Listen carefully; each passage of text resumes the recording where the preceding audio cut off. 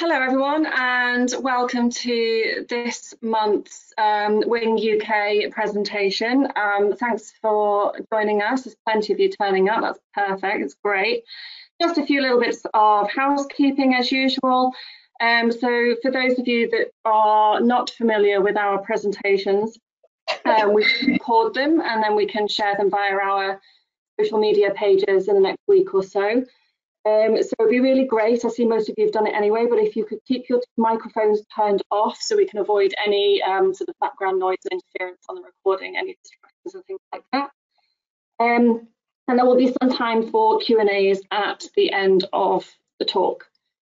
So today we have um, Nadia Narayan from uh, the University of Durham. Uh, Nadia is uh, a good friend of mine and a fellow graduate from the University of Plymouth graduating in 2014 with the Integrated Masters in Geology. Um, she went on to start her PhD at Durham University in association with Durham Energy Institute in the same year. She has done some consulting on uh, a range of geothermal projects in the northeast, including the geothermal potential of the Upper Carboniferous East Close Farm. Um, and she's really passionate about finding ways to reduce the global carbon footprint moving towards a low carbon economy and driving change without impacting our quality of life or the environment we live in. So if everyone else can make sure their microphones are switched off and I'll just turn mine off as well. And it's over to you, Nadia. Thanks ever so much. Thank you very much. And thank you for inviting me. Um, so yeah, so I'm Nadia. So I'm going to be talking to you about uh, my research into the karst in the uh, deep carboniferous limestone in um, Great Britain. So, so this slide is black for a reason, nobody panic. Um, so I'm going to take you back in time, first of all, um, and I want you to kind of imagine that it's um, the end of 1973 and we're going into 1974. So it's midnight, we're counting down, it's five, four, three, two, one, Happy New Year. Or is it? The lights have gone out in Great Britain. The OPEC Arab oil states have imposed an oil embargo. A coal miner strike is imminent. Today, energy shortages enfor have enforced a three-day work week.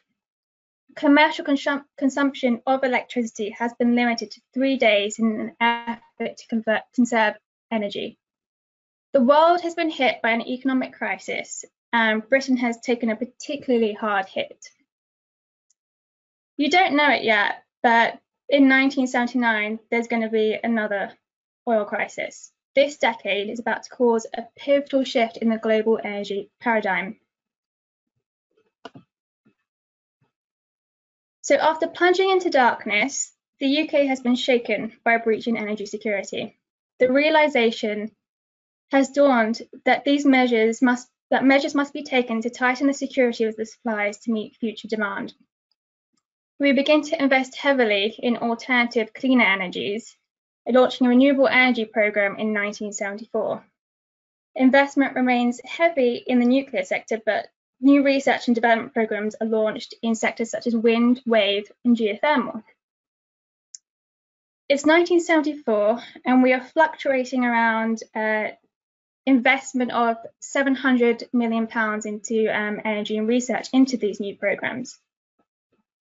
By, by 1984, um, there's a nationwide geothermal assessment commissioned by the European Commission, the Department of Energy at the time in the UK. Um,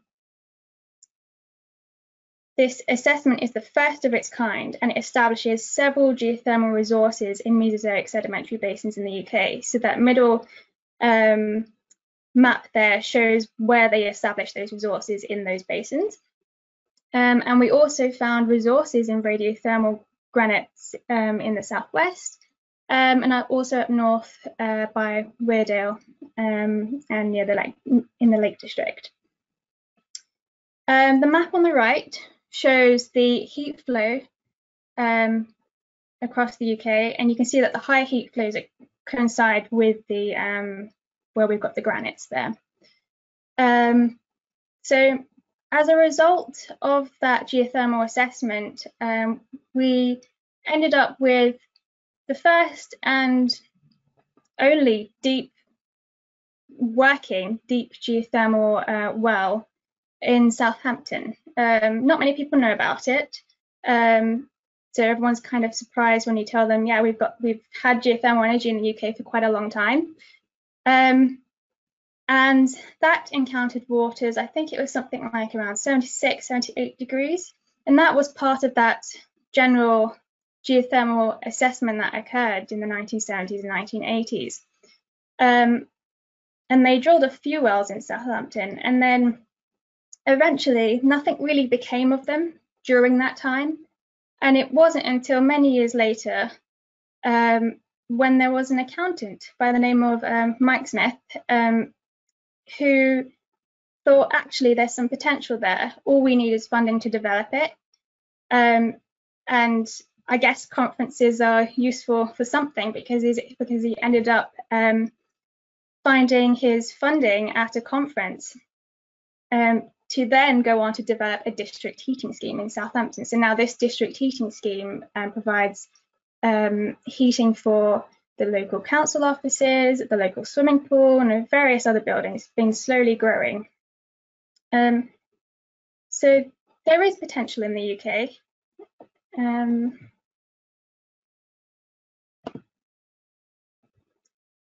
And then by the end of the geothermal assessment, we did start to see a decline in research and development investment. So you can see it's kind of quite a bit of a, a bit of a drop there. By 1994, the entire geothermal program had ended um, and fossil fuels were seen as the cheaper option. Um, our focus on wind and wave power pushed the pursuit of geothermal energy to the side. Um, and it wasn't really until 20 years later that we then had these other two reports that then were generating in new interest in uh, geothermal energy in the UK.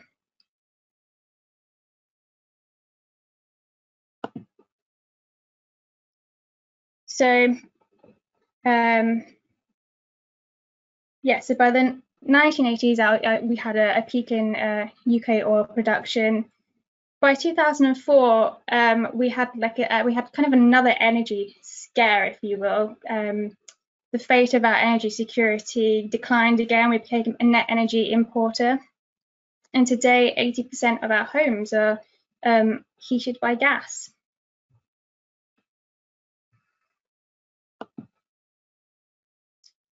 And nearly 50% of our energy consumption goes into um, heat um, a lot of that goes into space heating. Um, and this, I believe, is kind of a general consensus across Europe. Across Europe, almost 50% of that energy consumption is due um, goes towards um, heat purposes. And of that 50%, nearly 70% um, is um, of us burning fossil fuels, and of that, 66% is from gas, and we do import quite a lot of gas, so that's another sort of energy security issue there.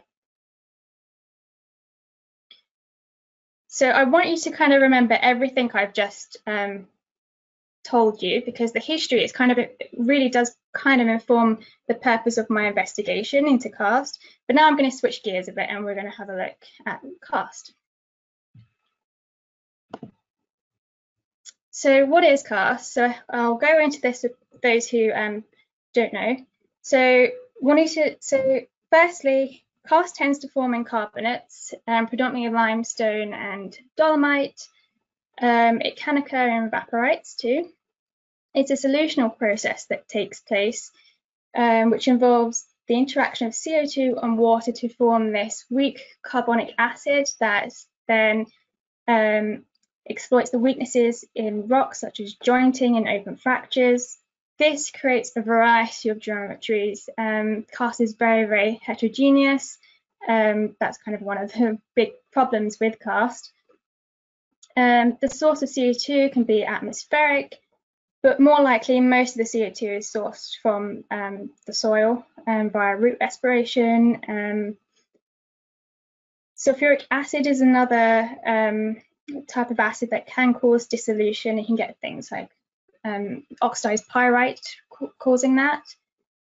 Um, in the diagram, that limestone block there is um, confined by an aquitard above and below to confine, confine, the flow, and it just gives you an example of the kinds of features we find, um, at least at the surface, um, like sinkholes and springs and caves. Um, and although I've put that we get karst associated with tropical and humid climates, they can occur in temperate climates as well.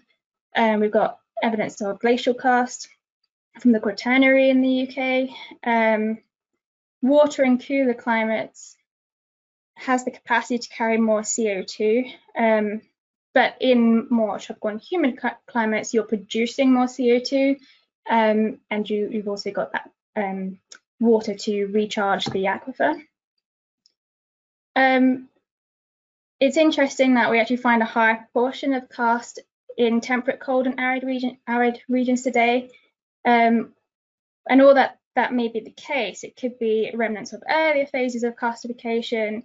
There's definitely the theory that um, because you are producing more CO2 in tropical areas, that you get more dissolution in those areas. So things tend to happen at more rapid rates and it will dissolve away at more rapid rates, and therefore there's a misrepresentation of um, sort of tropical karst. Um, and then the kind of more obvious one is it's nature and ge geology being um, quite biased. So wherever you wherever you've got the geology for forecast to form, so limestone, um, if it happens to be in that climate, that's that's just kind of where it's going to form. And the fact that um, it's a, a subaerial feature um, is quite important to my study.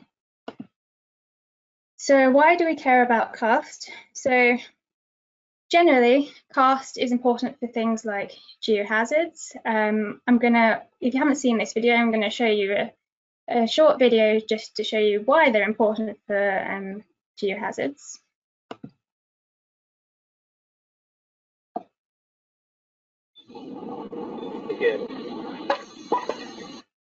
If it works.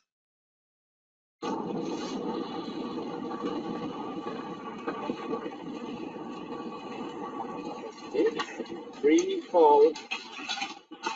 Going all in. Oh,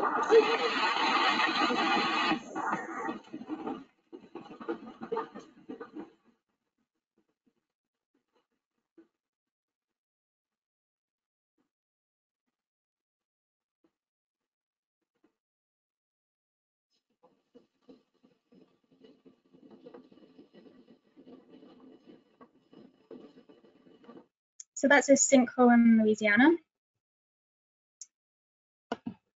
Um, we also care about karst from a perspective of um, it's a freshwater resource. Um, that's just a picture of my fieldwork. I was trying to look for a picture of a, a spring. There is a spring there flowing into a bucket. Um,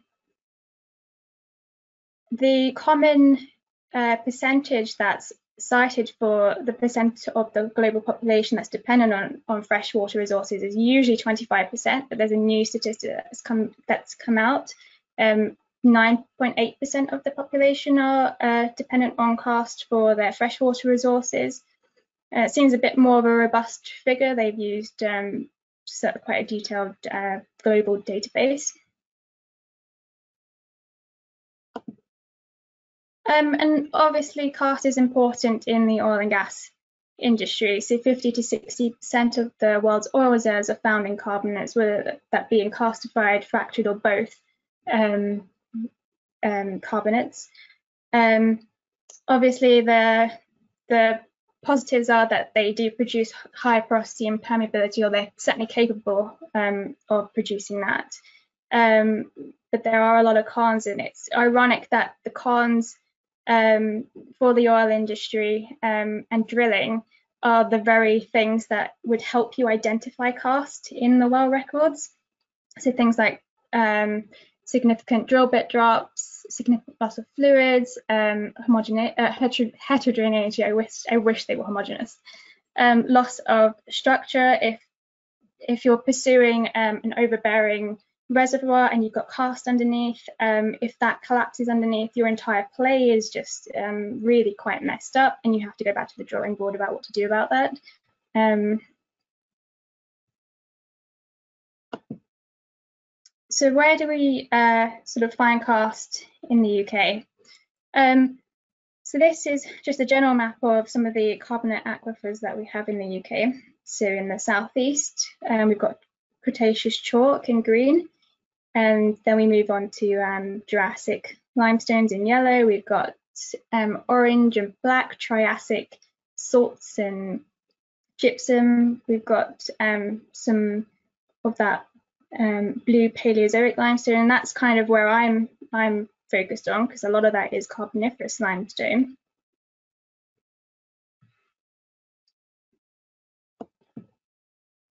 Um, and why am I focusing on Carboniferous limestone? So if we just sort of rewind a bit, um, why am I focusing on the Paleozoic at all?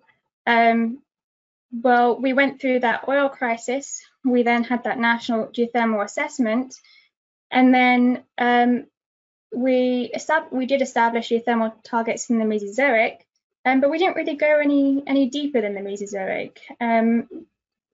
And we certainly know um, that Carboniferous limestone has potential um, for being a karst aquifer at depth, and I'll go on to speak about why. Um, but this was an interesting um, excerpt from the uh, geothermal resource assessment that was done in the 1970s and 80s, which says because of the uncertain knowledge about the detailed nature of the upper Paleozoic rocks at depth, the geothermal resources have not been estimated at this stage. Nevertheless, it would be unwise and incorrect to dismiss them as having no potential for. Although a significant resource has not been specifically identified, the possibility remains that resources exist in several regions. So even during that report, they said that it shouldn't really be dismissed. But now that we're several decades later, we have um, we've gained more data, we've got more technology, and we can um, start looking into these um, resources that are um, in the Upper Paleozoic. So this is um, the, just the general geology of the UK, if you're not familiar with it. Um, in particular, uh, just pay attention to the, the fact that we've got this block and basin topography. Um, and it's those sort of blocks in blue there um, that are quite significant for areas where we're developing karst. Um, that block and basin topography was formed during the early Carboniferous. Um, so, yeah. And then another reason why I'm looking at Carboniferous limestones is because we know that um, most of the thermal or tepid springs in the UK come from Carboniferous limestones. Um, so if you're not familiar with the UK, in, in the UK in the southwest, our hottest spring is at Bath Spa, and that's around 45 degrees Celsius, going up to maybe 47 degrees Celsius, um, and that's in the Carboniferous limestones. And then in South Wales, we've got Taff's Well, 18.6 to 21.6 degrees Celsius. Um, and then at Buxton, we've got 27 to 28 degrees Celsius. Harrogate, we've got limestones, but we've also got sandstones as well in there that the water's flowing through. That's 14 degrees, 14 degrees Celsius. So they're not the hottest springs in the world, but they are pretty warm springs, and they're all coming from the Carboniferous limestone. In addition to that, um, in that map where I where I did show you where we do have these um, carbonate aquifers, a lot of the we do get some karst in other um, in other lithologies in the Jurassic and and some in the chalk, um, but there's nothing that's more extensive than what you find in the carboniferous limestones in terms of we've got extensive cave development um, and they're they're very um, interconnected quite interconnected caves and quite large as well. Um, so if we if if that unit has the potential to form that um, amount of um, porosity and permeability, and we're seeing that just at the surface, what are we going to find at depth? Um, there must be some potential there. Um, so during my research, I make use of um, some 2D data, that seismic data that I have access to.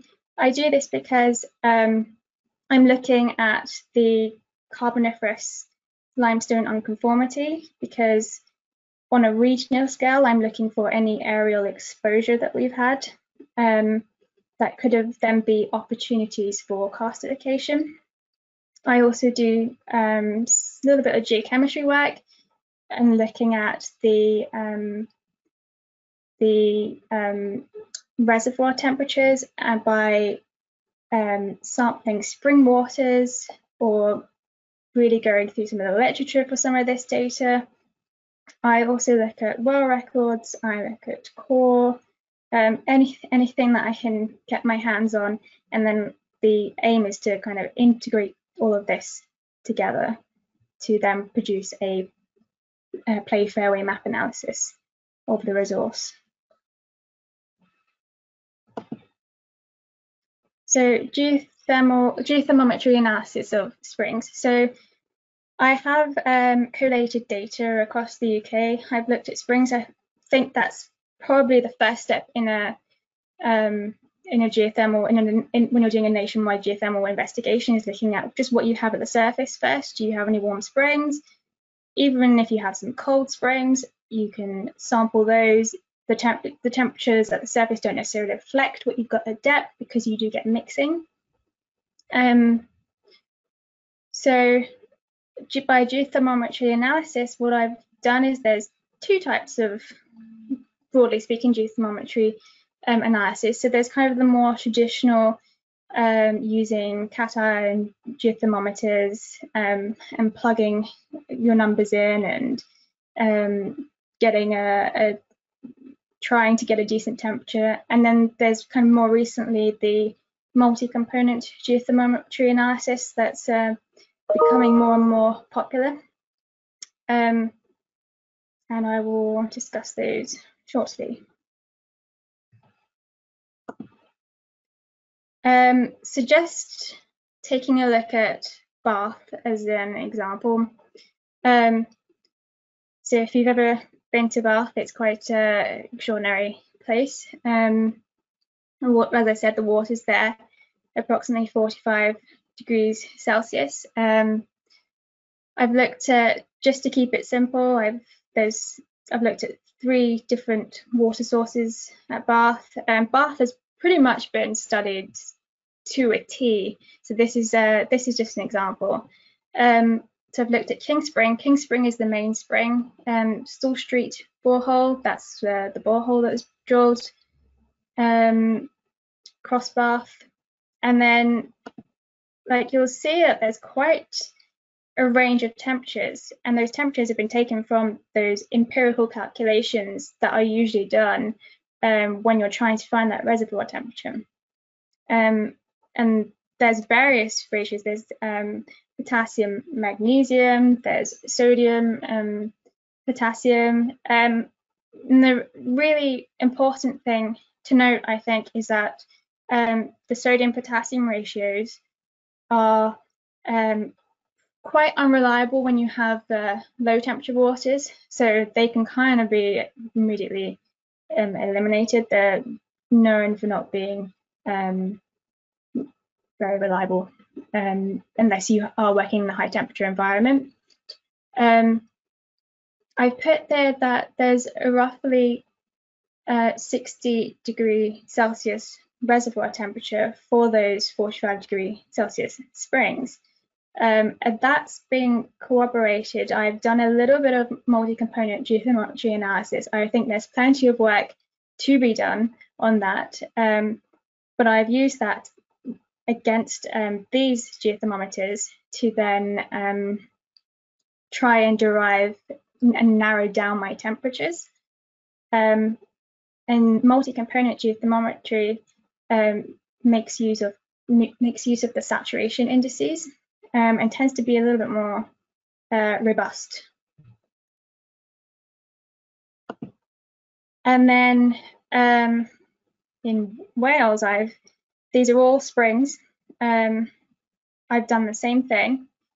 Um, and the crosses on the graph are they're quite small crosses, so I don't know if you can see them, but they are the temperatures of the springs at the surface. Um, so anything below that is tends to be questionable. So there's temperatures that have been calculated that are less than the temperature that you're getting at the surface. So they're immediately uh, questionable, especially if you're getting like negative temperatures. Um, and again, that band there, it's quite, it's still quite a wide-ranging band, but it's a rough band in red um, that's also been uh, corroborated with multi-component geothermometry analysis, but again, more needs to be done on that front. Um, and those kinds of temperatures tend to be between 20 and 40 degrees Celsius for spring waters in Wales, and they're spring waters that have been taken from um, kind of mostly North and South Wales, um, and some in some in Mid Wales as well. So what is the point of these temperatures? That I mean, if you if you weren't used to working in a low temperature geothermal environment, you'd think that they're quite measly temperatures. Um, but what can you use these temperatures for? So 50% of um, of the greenhouse gas emissions due to heat come from the domestic sector, 30% come from industry, and 20% come from the commercial sector. And again, a lot of that heating, it goes into space heating. It's something like 70 plus percent goes towards space heating in the UK. So why not use some of these temperatures um, for underfloor heating? Um, you can certainly boost temperatures with heat pumps, um, but it will be very, it would still be um, something worth pursuing. So now let's dive deeper. Um, and I'm just going to briefly go through what I've been doing, which is following the Carboniferous limestone on nonconformity across the UK. So much of my data, actually pretty much all my data comes from the UK Onshore Geophysical Library. They are um, an organisation in the UK that holds all of the um, all of the data. Um, and a high density of, there's a high density of well data in the East Midlands. So I've mostly done a lot of focus in the East Midlands um, with interpreting the seismic and with interpreting the well in, in, in relation to interpreting the wells as well. Um, finding where we have karsts in the wells and then yeah, trying to um, deduce the resource there. Um, but I have also interpreted other areas across the Midlands um, and going south as well. So just to sort of show you the quality of my data, because it is 2D data, it is onshore data. It can be a bit noisy sometimes in places, and the deeper you go, it's just it's not uh, it's not um, the most uh, the best quality of data um, but it does it does help in, in some areas you do have um, pretty good quality. Um, so this is just an example in the East Midlands of um, some of that seismic data um, in in the Welton field we have found um, that there is some evidence of water flowing there in the carboniferous limestone so it's very worth interpreting that. And then this is just another one, um, the Hanbury well. Um, the colours are slightly mismatched on this. If we just focus on the drawn diagram on the right, um, where the blue is the top of the Carboniferous limestone, and then the yellow um, is the mid Namurian unconformity, and then the pink is the unconformity in the Namurian. I think this goes to show that there are that there are several unconformities occurring in the region and they are plenty of they provide plenty of opportunities for karst to occur. So that's what I'm doing. I'm looking at all the different unconformities and all the different opportunities where we would have had aerial exposure and then we would have possibly had um, a chance for karstification to occur. And this just kind of goes to um, reflect that, that we've had several um, there's several opportunities in the Carboniferous in the Jurassic, going into the Cretaceous, um, in the Permian, in the Permo-Triassic. Um, there are plenty of opportunities for um, waters to have exploited uh, Carboniferous limestone weaknesses and to produce this karst. Um, from core, so Grove 3 is a well in the East Midlands, and that's um, showing some very vuggy porosity. So this is just showing you the different, how, hetero, how um, much heterogeneity there is in these limestones. So this um, is vuggy porosity. This is found from um, a depth of over two kilometers. Um, and then Humbly Grove, Humbly Grove, where we've got Triassic on top of uh, Carboniferous limestone. We've got these um, fractures running through, quite sizable fractures. Um, and even though they, uh, if they're not so not necessarily where you drill, they'll be. So if you drill and you find that they're, they're in that particular core, they're they're closed. They're not necessarily closed all the way through the unit. Um, so that's important. And then also you get these brecciated types of karst, um, which could be a sort of a cave cave collapse, um, and then they've been infilled.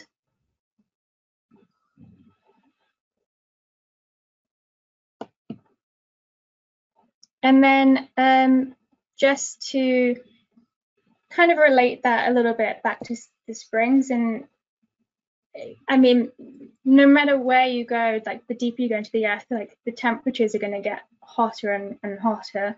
Um, and but the real thing that you kind of you're looking out for is the the flow rates um, that you're encountering. And so the blue are the um, spring water flow rates um, that I've recorded, um, either uh, from the literature or, or elsewhere. Um, and they're quite they're quite sizable spring rates. So the ones on the on the left of the red, um, most of these, apart from the King's the King Spring, which is in Bath, are from um, the Derbyshire area, and then we've got Taff's Well, and the and the x-axis, so the x-axis sorry is um, is the name of the spring, and then the y-axis would be uh, the flow rate in yeah, cubic meters per day. And then the red shows the different um, wells where we've encountered water. So we saw Grove 3, um, and we've got Grove 3 on here, um, with about 50 cubic meters per day. But then we've got um, a well, Strelley, um, which has produced um, quite a lot. It, seems to be nearly 500 meters cubed per day. Um, so it's quite a lot of um, water when you compare it to also the flow rates of the spring. So, so we so we are seeing sort of the same thing that we see at the surface um, at depth. So we're seeing evidence of high porosity and high permeability.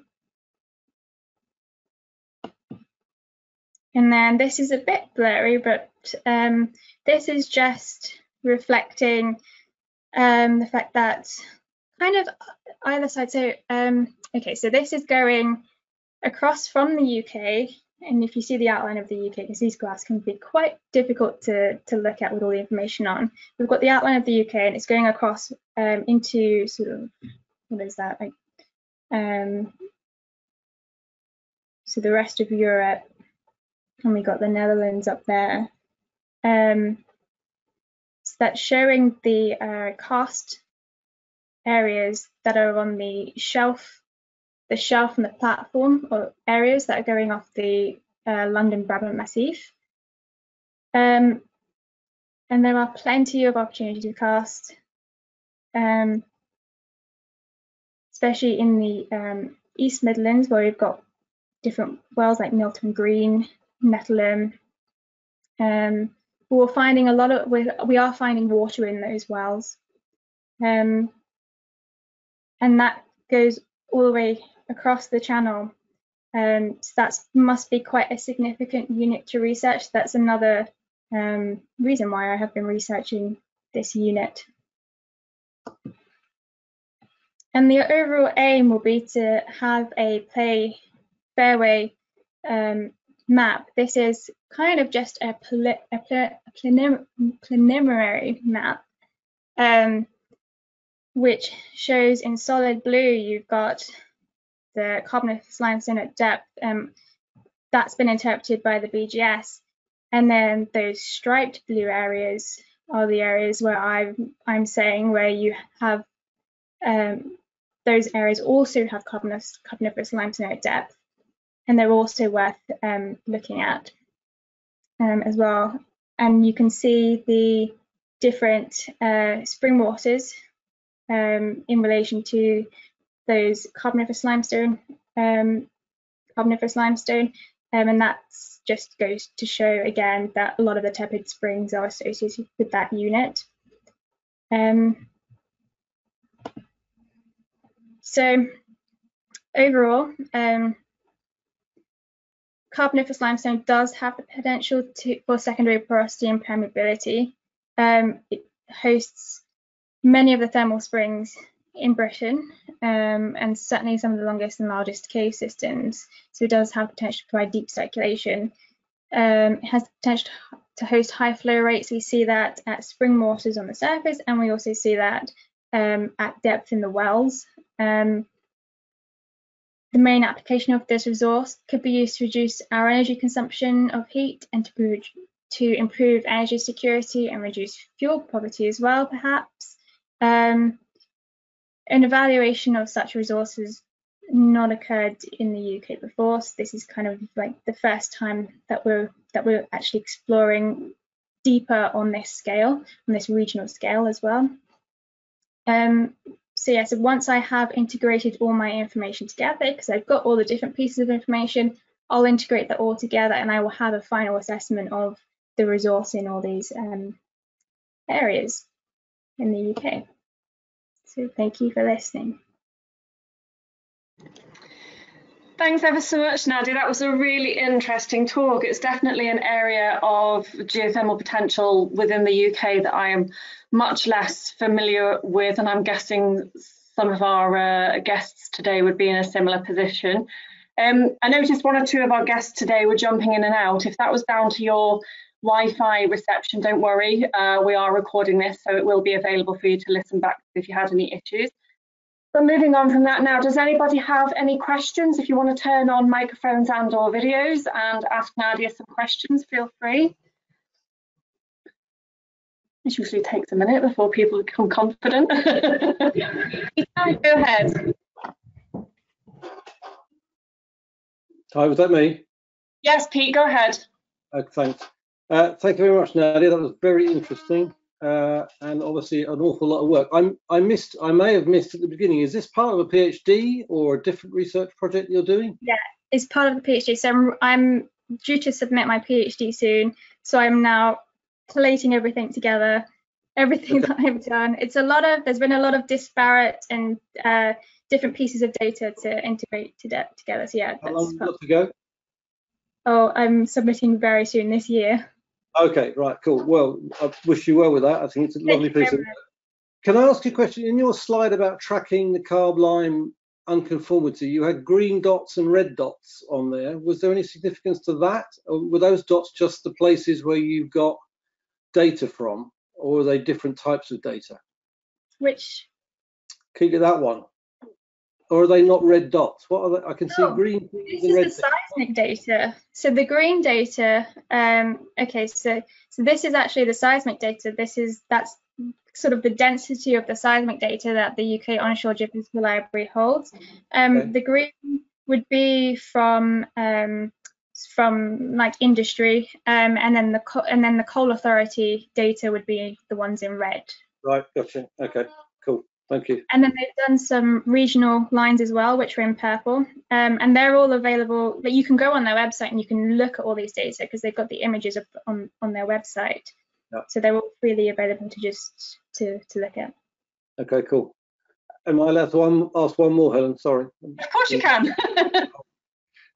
uh, the, I liked your correlation of uh, the sorts of flow rates uh, and the potential locations of karstification do you have any kind of feel for the sort of average depths or the depth range where Mm. there might be good karstified formations that could be uh, accessed by drilling? Any idea about that distribution? Yeah, well, um, it's a good question. I'm trying to think off the top of my head. Probably not off the top of my head. I've probably got it written down somewhere. Um, Okay. But um, because I mean, we've already got.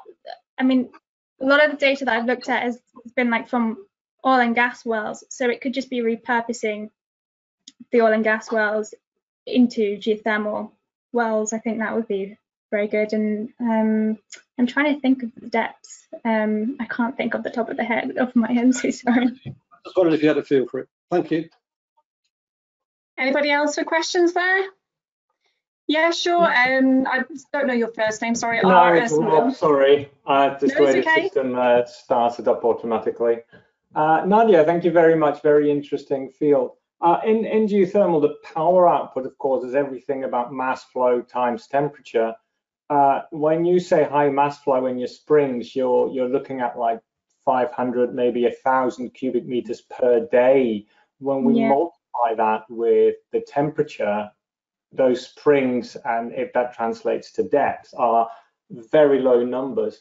What evidence is there that we'll get you'll be able to get decent flow rates that are usable in like you know a, a district heating system or, or something uh, at scale over this entire play that you can tap into? I mean, I've, I've got an extensive history in drilling carbonate, so I know how A, it's miss, Right. and either you get a gusher that might wash out after two days and ends up being, you know, a very low producer. So Yeah. that would be a huge risk in, in this. So, but what indication have you had have of sustainable flow rate that you actually predict in this sort of That's- play? A really good question. I might have to pick your brains. Um, yeah, that is a very good question because flow rate is everything. Um, yeah, I'm not sure to be honest. Um, I will have to kind of go back to my data and see what I've got in terms of putting it all together. Um, yeah, I'm not sure. I think I'm going to have to get back to you on that on that one. Come back to me. I've got some ideas how you can play with that by combining some things. Okay, yeah. Yeah, we'll put. Um, I'll get um, Claire um, to put you guys directly in touch sort of with emails or something like that, um, and then you can discuss away from here if that's easier for you. But Sure. the, most of those flow rates that you quoted, if they're from springs, are natural flow rates. So, you know, you stick a pump in a hole nearby and you can do much better than that if you need to. Yeah. So Only if you've got primary permeability. Sure. But that's that's an issue of if you're going to have to drill boreholes anyway, and you're talking about the stability issues too. If you're prepared to drill small boreholes and put slotted liners in there or perforated liners in there, that's you know it's still a good a good opportunity. yeah, yeah, certainly. I'll, it's something I'll have to look into a bit more. I think. Um, it's really, I think karst is such a a troublesome thing in geology. Um, it's it's uh, it's been a challenge certainly this project. Thank you. Anybody else there? Uh, yeah, but go, jump in. Joe. Hey, Yeah. Nadia, thanks very much. That was interesting. Some of the background stuff. I've been reading those uh, um, older PDF files that you were probably looking at recently as well, just for like a literature review. But anyway, um, have you? I noticed you never you kept mentioning the UK, but you ignored us in Northern Ireland in your core studies. Did you look at any of the limestones that are in like the sort of west of Northern Ireland and like the Fermanagh direction or anything like that? I didn't. I have. Okay, probably early on in my project, I did look at a little bit at, at Ireland and Northern Ireland, um, but I haven't done much there because um, there's already a lot going on in terms of looking at the karst potential in Northern Ireland. So I haven't included that um, in my study, um, and I can't remember her name. Um, but uh, there was another PhD student and she did a brilliant thesis in the Carboniferous limestones in the karst. I think she used magnetotellurics. Um, and yeah, I think they were finding um, karst. This is the thing that I wanted to look at in my study. They were finding karst associated with certain orientations of um, faults and fractures um, at the intersection of them. So I wanted to look at that in in I don't know if I have time to. I probably don't have time to, but I wanted to look at that um, in in in Britain as well in England, um, and see if that if we're also finding that there. Um, it's something I probably will want to do um, post PhD, um, and I'll certainly maybe collaborate with Ireland um, and see and see what they've done on, in terms of in terms of that because they seem to be a bit ahead um, in that with respect to that. Yeah, well, if you come across that that that girl's name that did that one, if Yeah. you get a chance, or give us a link, that would be great. But no, good presentation. Thanks very much. Thank you. Anybody else? Any questions there? Real quiet, yeah. I've just got a, a, a little quick one actually. Um, so you mention that you found the sodium potassium geothermometers to be sort of pretty unreliable um, with respect to their stability ranges, and it was producing some random numbers. I don't know, did you mention, I might have missed it, uh, which of the thermometers you actually found to be the most reliable? Is it literally just the ones that have the data falling within your your red boxes there, or and Yeah. did you find, did you find that some of the authors, say for example, um, a, sodium potassium uh, geothermometer by one author completely contradicted the results of a, a sodium potassium geothermometer from a different author? Did you find that there was a lot of inconsistencies there as well? I mean, they're all a bit, they've all been calculated a bit differently, um, but no, generally the sodium potassium ones are really not good for low temperatures. The potassium magnesium one was um, a pretty, a, a pretty good consistent one that kept coming up um, um, as though it would be um, reliable, but I've tried not to stick to one because I've been, I mean, I'm looking at different areas in the UK as well. Um, so what, what might work for one area might not work for another area. But um, yeah, potassium, magnesium, and anywhere I've had lithium data, then the lithium indicators have been um, quite um, reliable. But I don't have that much um, lithium data. Yeah, I Uh, found that as well. Is sort of I've heard that the lithium geothermometers are supposed to be pretty good, but the lithium data is currently quite limiting. So Yeah, I think also like just think just to randomly point out that um a lot of I, I really kind of I really went into the geothermometry side of things um during my research and I went through a lot of papers. And when you go through some of the papers you start finding inconsistencies um with the way different authors have calculated have have used these geothermometers. So they haven't gone back to the original paper. They've taken it from, they've used a program or something, and the calculation has actually been wrong. Um, and They're coming up with this, and somehow, um, somehow they've um, got that out into the world. But yeah, they they tend. You have to really be careful with these calculations because if any one wrong number and um, you've got a wrong temperature. So yeah. No, I appreciate that from the the correlations that I've been doing. I've done like you, I've done a lot of geothermometers. I've had to mm-hmm. use sort of geothermometers to determine chloride enthalpy, the sort of mixing and all sorts of stuff like that. And yeah. they definitely drive you a little bit mad and you have to have your wits mm-hmm. about you to spot those tiny little nuanced errors and things. So Yeah, most Yeah. definitely.